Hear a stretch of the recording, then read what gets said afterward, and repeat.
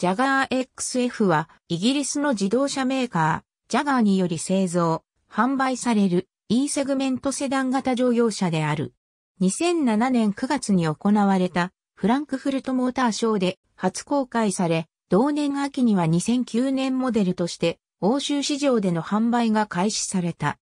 販売面では S タイプの後継者とされているが、デザインは2007年1月に発表されたコンセプトカーの CXF をベースとしており、デザインの大幅な路線変更が行われている。開発はイギリスコベントリーのジャガー開発センターで行われ、製造は同国バーミンガムの先進生産センターで行われる。CXF2007 年1月に行われた北米国際オートショーでは市販を前提とした XF のプロトタイプコンセプトカー CXF が発表された。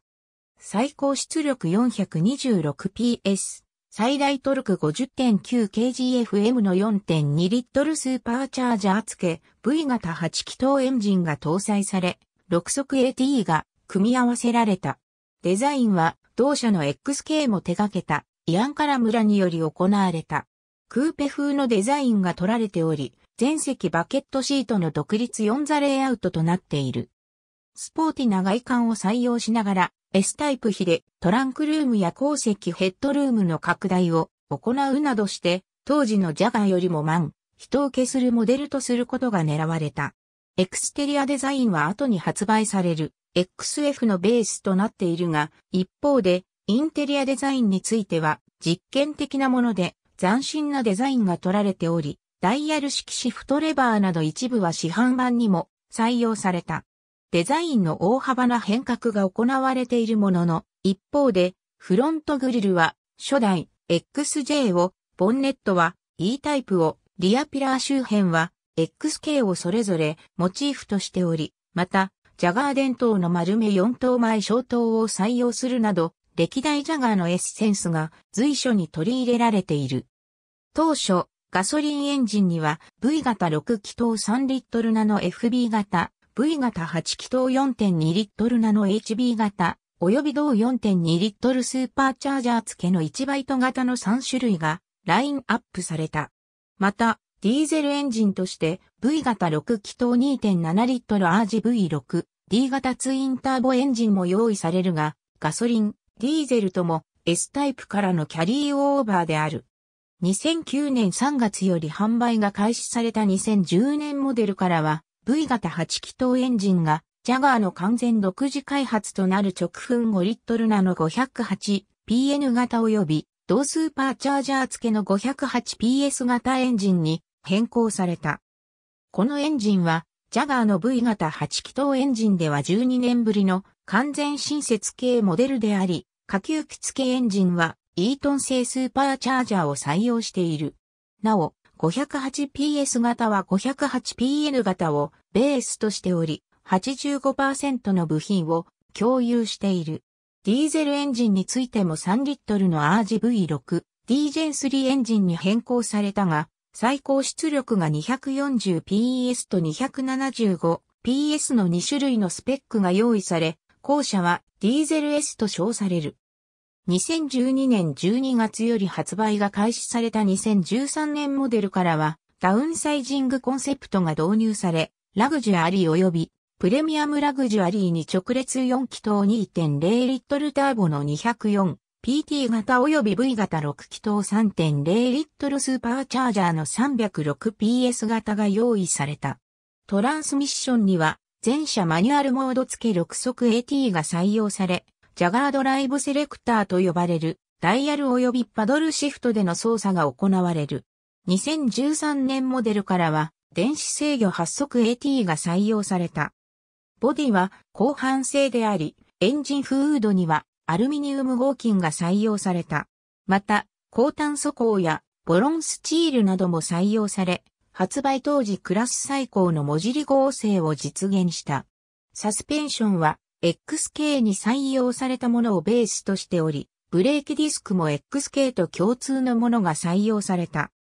エクステリアデザインは先に、デザインに際しては、ボンネットの位置を低くしながら、衝突安全性も両立するために、衝突時にボンネットが持ち上がるデプロイアブルボンネットシステムが採用された。ボディサイズについても、先代とされる S タイプから全長、全高、全幅いずれも拡大されているが、ホイールベース長は不変となっている。設計に際しては、数値流体力学が用いられ、それによりジャガーの量産車としては最高の CD 値0.29及びフロントリアゼロリフトを達成している。また、インテリアではエンジン始動とともにシフトセレクターが出現し、エアコンの吹き出し口が開くという演出がなされている。デビューから約3年10ヶ月が経過した2011年4月のニューヨーク国際オートショーにおいて、初の大掛かりな改良を施した2012年モデルが初公開された。フロントマスクは全消灯やグリル、バンパー、ボンネットなどのフロント周りのデザインを一新し、2009年の7月に登場した4代目 XJ を連想させるデザインとなった。インテリアも前後シートやダッシュボードのデザインを変更。ダッシュボード中央には7インチの新型ディスプレイを採用し、各種スイッチの操作性も引き上げられている。同年7月には、オーストラリアのオーストラリアンインターナショナルモータ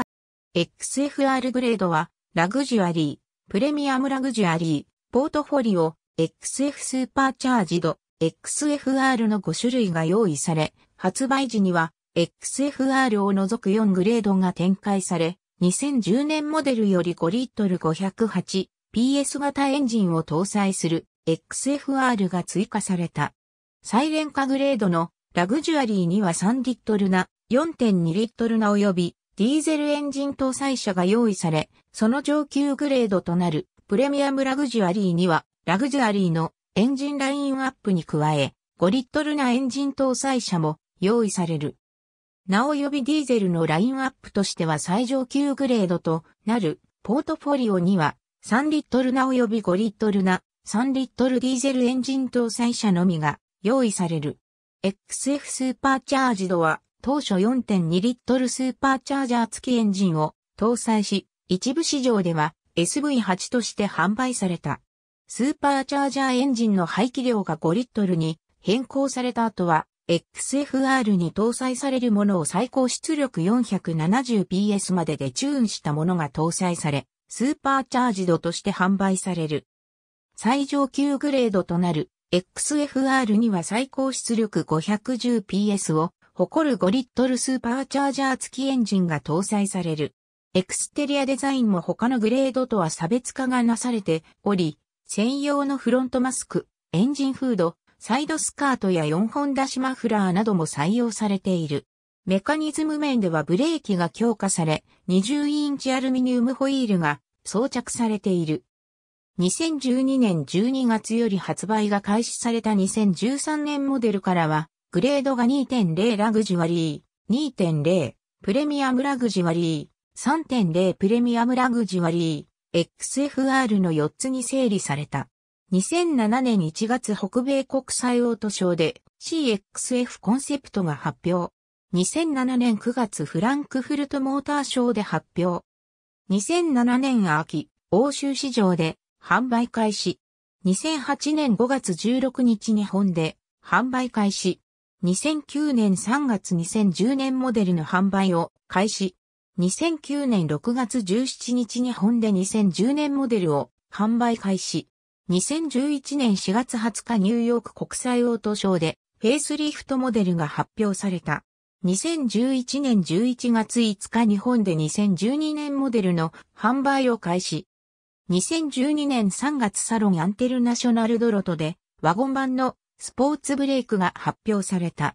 2012年12月11日日本で2013年モデルの販売を開始。2013年3月6日、サロンはアンテルナショナルドロトで XFRS が発表された。2013年11月6日日本で2リットルモデルにアイドリングストップ機構が搭載された。CXF コンセプト2007年、2008年、2009年、2010年。エクステリアデザインは基本的にキープコンセプトだが、仙台比で全長を 10mm 短く、全高を 5mm 低くする一方、ホイールベースを 50mm 延長して居住性を高めた。今回、新規導入されたジャガー G との共通アーキテクチャとなっており、アルミニウムの使用比率をボディ全体の75%に引き上げた新開発のモノコックボディ構造を再エンジンは先代からさらなるダウンサイジングが図られ、トップは V 型6気筒直噴3.0リットルのスーパーチャージャーとなる。メインにはその3.0リットルが据えられる一方で2.0リットル直噴ターボや G にて搭載済みの新開発2.0リットル直噴ディーゼルエンジン、インジーニームも用意される。足回りに関しては、フロントはダブルウィッシュボーン式を継承するものの、リアは G と同じインテグラルリンク式を新たに採用している。ジャガーブランド初の装備として、アダプティブ LED ヘッドライトを備える。新たなる安全装備として、レンジローバーから転用された、オールサーフェスプログレスコントロールと名付けられた、クルーズコントロールを搭載。機構的には4輪を独立して駆動力と制動力を制御するものである。センタークラスターには10.2型モニターのインコントロールタッチプロと呼ばれるスマートフォン感覚で操作できるインフォテーメントシステムを備えた。さらにメーター内には12.3型の TFT インストルメントクラスターを搭載し、ここでナビゲーションの一連の動作を確認できる。ありがとうございます。